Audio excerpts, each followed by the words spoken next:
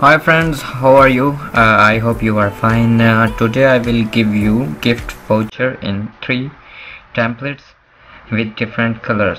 So let's start it. First i show you uh, one template in four color. Show you open with perfume and you see here um, orange color and yellow color red blue and green so second folder open gift voucher. Here is three different color.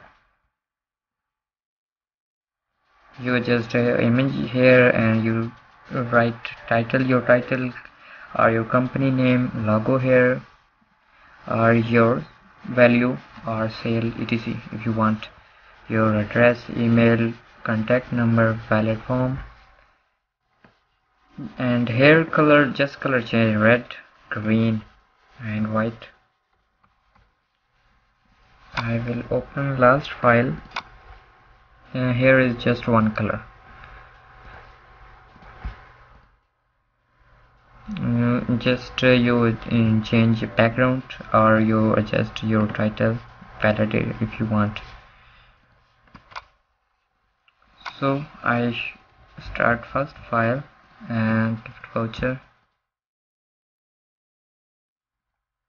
of red second file drag to photoshop cc 2018 and you show and you see here in layer areas. Every shape have a group and you can easily extract and edit it. Logo contacts icon shapes and background folder. So first I change I wanna change this color. Double click here and you can change color okay? And you see here you can change one by one a shape and you adjust one by one with photo. So I wanna change with a photo adjust in shape photo in in shape. I drag here here and right click create clipping mask and then adjust here. Press shift and adjust to shape. If you like if you want then you can adjust dependent on your own self. So you can apply. Uh, color is already applied. You can renderings overlay apply.